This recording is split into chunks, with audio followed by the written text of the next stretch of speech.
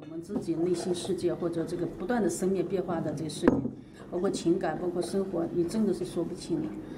为什么说不清？说不清的一个重要的原因就是它是虚幻的，而且它不断的在无常里不断的变化，所以无法定论，甚至你无法定论你是什么样，甚至你无法定论你是个好人还是坏人，因为你你也在变嘛，是不是？对不同的人呈现不同的状态，所以生活说不清楚。因为是你在生活，不是生活说不清楚。如果是你介入生活，生活就说不清楚了。你跟生活的这种互动，不断的这样，甚至你的目标，你说我有一个方向了，我定了，但是随着时间你又变了，你你也很难说清楚你为什么去转变。你好像我们总是说，好像有个原因，我肯定是因为遇见他了，我变成这样了；遇见他了，我变成这样了。我肯定因为发生了一件什么事，我变了。这都是。都是自己给自己找了一个立足点而已，你就是变的，你不可能不变，这才是问题重点。你你肯定是变的，而且你，别人只是个触缘，这就像你你是个都你是个旋转的旋转的球，我从这边触一下，你头儿又这样转了；我从这边触一下，你又这样转，因为你就在运动生命里边。呃，你你能够推导出只是规律，就是一个大的发展趋势，趋势势就是势力啊，呃，大势至菩萨的势，就是说它这个东西是水是从西往东流的，哎，从东往西流的，就是，哎，就是东边，但是只是在地球上而已。你认为对是一个球体来说，哪边是东，哪边是西呀？什么叫从东往西流，或者从西往东？就算是你推导出的规律，也是在特定的范围内适用。那就是这样的，很难很难去看清楚怎么样去做，是更好更对。在某一个特定的这个角度里边，你觉得这样更好，这样更对，你真的不知道怎么做选择是对的或者错的。呃，因为我们不断的生命变化，不断的要要选择新的方向，那你根本说不清楚。所以你要想说清楚，你要想知道你怎么生活，那就先定下来。先要不动，先要定住。你定下来，你才能看清你是个什么样的。你搞清楚你自己什么样的，你才能去选择你要的样子、要的方式、要的生活嘛。你连自己是什么都不知道，你怎么选择你要的东西呢？你是什么都不知道，你怎么能知道你要什么呢？是不是？你说我要这个杯子，但是你自己是这么大的，你怎么往进放啊？是不是？你只是认为它好看啊，你喜欢的，但是。你发现，你最后发现你是这个这个东西，你根本就你你想放到它里面是放不进去的，是吧？所以你觉得你的选择是错的，那个时候就发现，因为你是先不了解自己。佛学其实到最后认知认识自己啊，你本来是谁呀？就是也是逐渐的认知自己，就是最后成佛都是逐渐的认知自己。你认识认识佛，他是先假定你是佛。但是你众生是不知道佛是什么的，是吧？那么借由对佛的不断的不断的认知，你越来越对这个佛了解了，了解不断的认知来成道。你对佛了解了，最终彻底了解了，你就成佛了。哎，整个的过程就是你知道你是谁，整个修行的过程都是知道你是谁。你是谁以后你知道了，好，你出来可以做一切事了。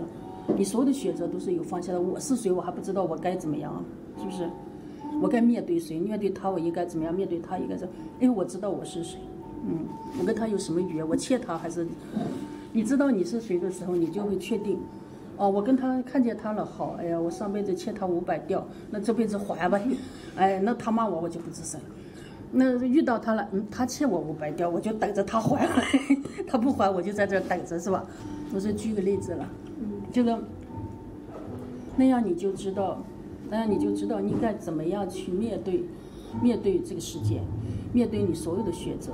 嗯，就说，因为因为他们是不知道的嘛，他是不知道跟你的缘分的嘛。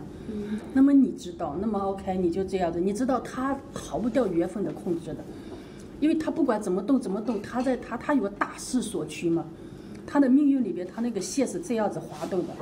然后他在这两边啪啪啪啪放光，他跟着光明乱走，但是他的树是这样的，那你只等在这儿就行，他都就这儿了，就是你一定会遇见他，哎，一定会。那么你等的点，你不会跑在这儿等他，不会跑在这儿，一定会在这儿等他。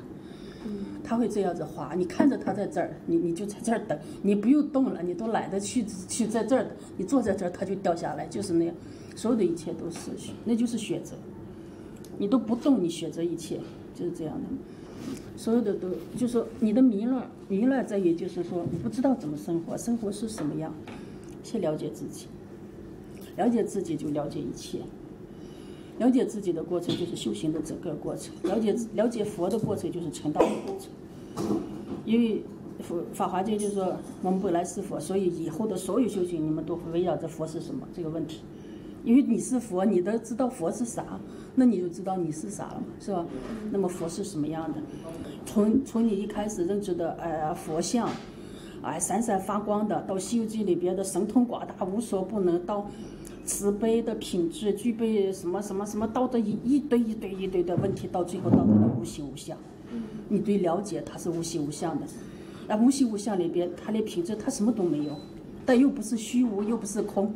所有的不断的不断的，你就是对这个东西的了解彻悟嘛？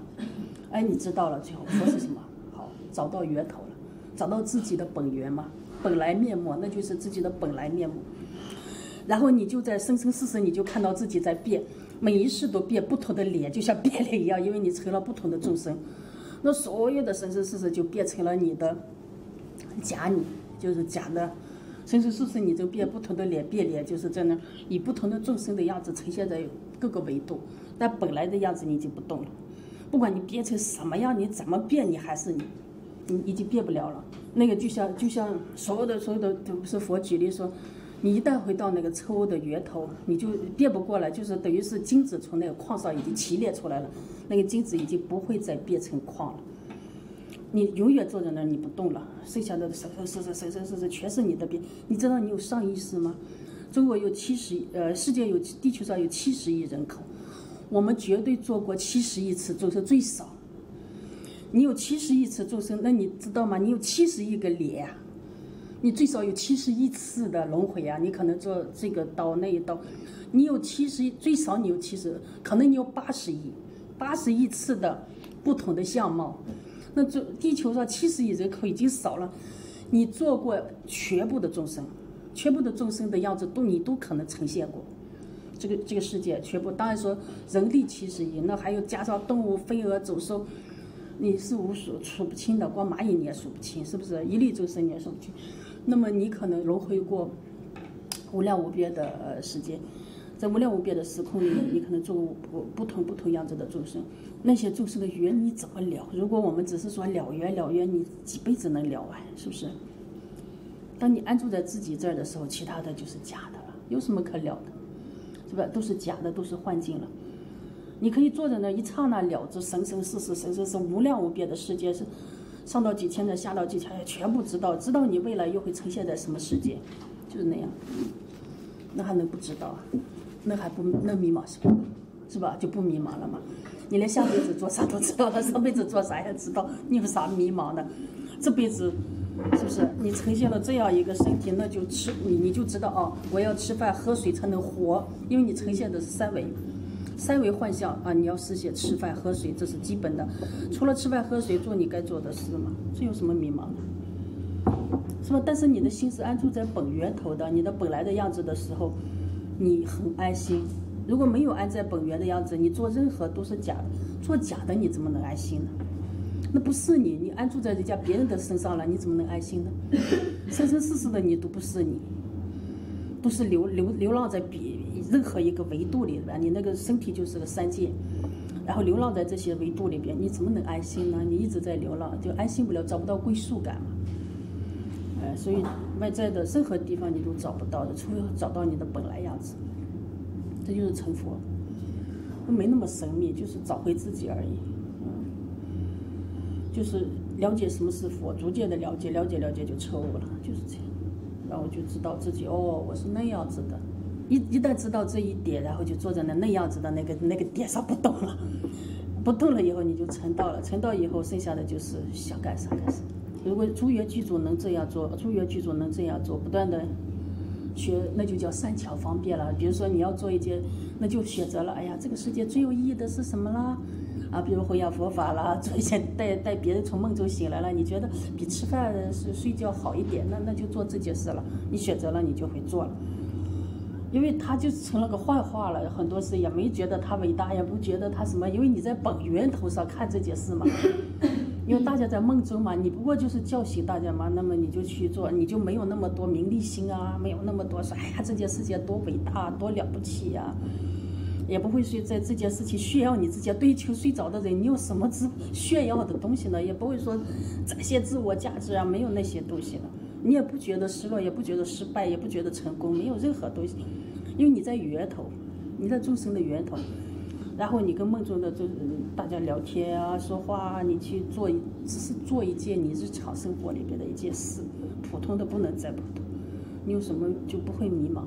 然后告诉他们，唯一的唯一的一件事就赶紧醒来，睡着了不行的，这就是唯一的一件事，剩下的事都是梦里边的。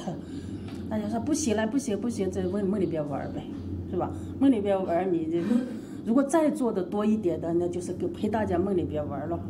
大家都在梦境嘛，哎，甚至大家在梦里边造原子弹、造宇宙飞船，你都可以一起造了，因为有时空的哦。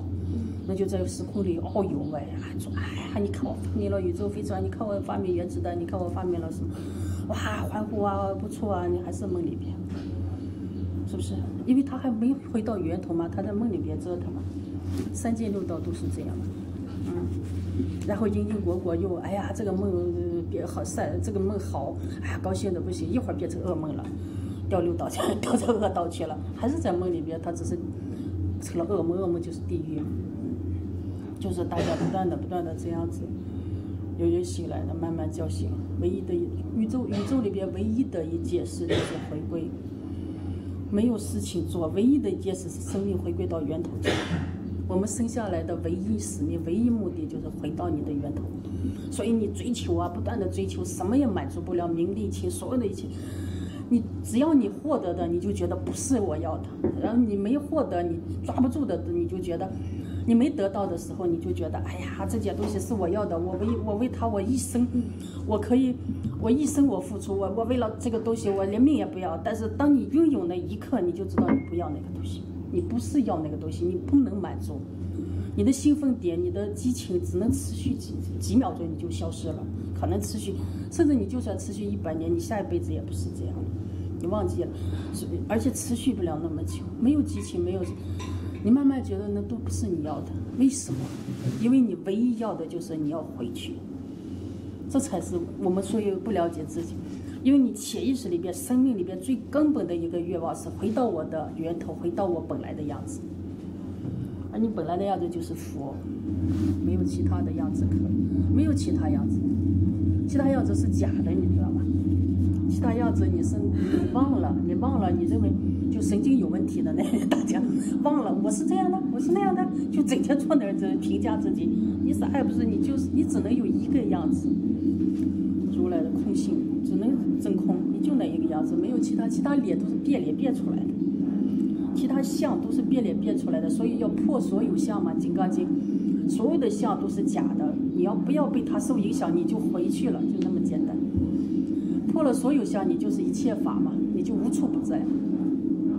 你这就其实蛮简单的成道，是大家不愿，大家认为那些像是我。过去生别说了，七十你说七十亿八十亿我也忘了，这一世我打个破了？你看我照镜子我就这样的，我照着镜子这块有个黑点儿，这块有个痣，这我就这样的，是吧？呃，看我脸上这个痘痘好丑啊，我要呜，是吧？我我要把它去掉去掉。大家说这个没问题啊，这这不是说 不是说你是。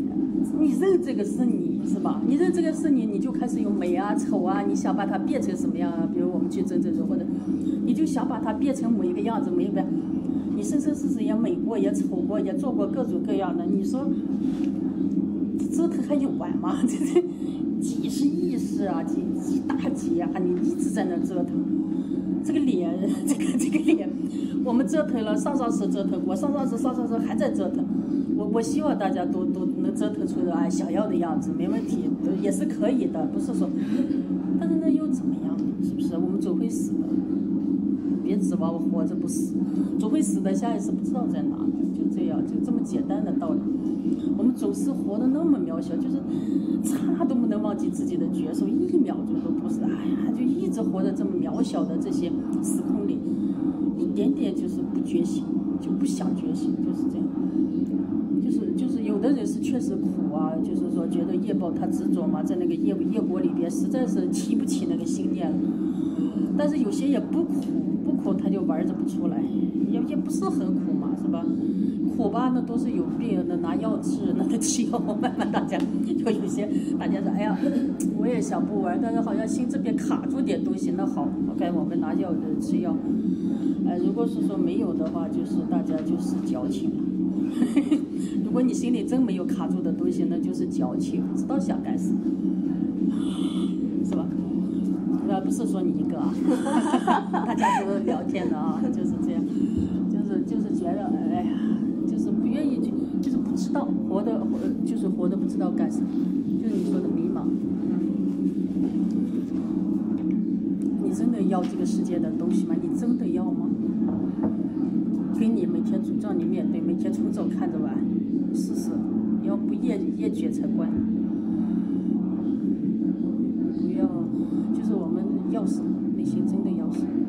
所以，所以只有佛菩萨知道我们要什么，因为他知道你要什么。你不是说你坐那求菩萨啊，菩萨给我个这，给我，他知道你也不行，给了你三千你就玩玩腻了。给我个坦克，给我个大炮，个什么，给我，知道你不要，他知道你心里边你很深的那种欲海里边，他他要回归，他要成道，不成道他没得幸福，因为他要幸福嘛，那佛就让你成佛，你不成佛怎么能幸福呢？佛已经告诉你了，这是苦海，你指望在苦海里幸福吗？我就这就怪了，是，你在苦海里说，老师我能不能在苦海里变得幸福一点？你看就这种，现在大家就是这样。佛说这是苦海，三界如火灾，三界如苦海。大家不处理，就是我唯一的是求我那个火烧到我皮肤的时候，我能不疼，我能不痛苦。就是大家在求这样的佛，佛没办法，说是吃点止疼片，吃点止疼片啊，那就是各种方便善巧的小法门了。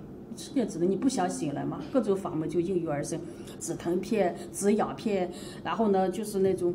啊，暂时止疼的，反正就是还让你用觉了，让你休克了，让你还各种各种方法了，就是没那么痛苦了。就是就是那些看，我们经常笑说，有人找我看病，说肝不行了，吃祛肝的。我说你能不能不喝酒？说老师不行啊，我让你看病开药还是为了我能多喝几斤呢。然后他又治肝，你你说谁能给他治了？是不是？他说我是想多喝几斤，然后不损伤肝。我说你现在已经不行了，那个肝你不能喝了，从依旧不能在。他说不行不行不行，这个不行。我你你能不能保证我就是吃吃完药我能喝几斤也不伤害肝？我说不行，我我保不准，你找别人吧。是不是？大家也是。老师我在苦海里能不能不烦呀？就一样的，你别笑他。我们在苦海里，老师我能不能不烦？我说我说能吧。暂时的，大家聊聊吧。你要是不准备出苦海，大家先聊聊天。你说，我觉得，我觉得老师我，我觉得我，比如说我炒股，我赚了一百万，我就不烦了。比如说我，我我喜欢哪个人，我跟他在一起，我就不烦了。哎，比如说，比如说，说这也对呀，你要不先去炒股去吧？啊，然后呢，他赚了一百万，他好像也没啥感觉哦。其他的烦又生起来，我能不能赚一千万呢？我能不能赚一个亿呢？然后说我是不是太贪了？就这样，就整天折腾。然后你跟他聊，你你为什么贪了？你为什么不知足？你聊这些有什么用呢？他重点，他内海里边他就不是想要这些东西，这都是止疼片。你跟他谈，他聊贪嗔痴慢疑都是假的。他太贪了吗？他不是太贪了，他要一个亿他也满足不了，那不叫贪，是因为他不知道他要什么，那不叫贪，他因为一个亿呀他满足不了，说明他不要那个东西，你知道吗？说明他只是在里边觉得好像暂时的安稳一点，觉得好像没恐惧啊，我有钱了，我可以买很多自己喜欢的产品，喜欢的东西，就像就像一个五岁的小孩子买了一百种泡泡糖，塞满他的房间，今天吃这个泡泡糖，明天吃那个泡泡糖。他有啥？挣了一百万就是能买成一百种泡泡糖吃，是吧？大家是一样的。我买个跑车，我买个别墅，我买个，反正大玩具呗，是吧？然后就是这样的，嗯，就这样。最后他发现哪儿也不幸福，我还还需要怎么样怎么样？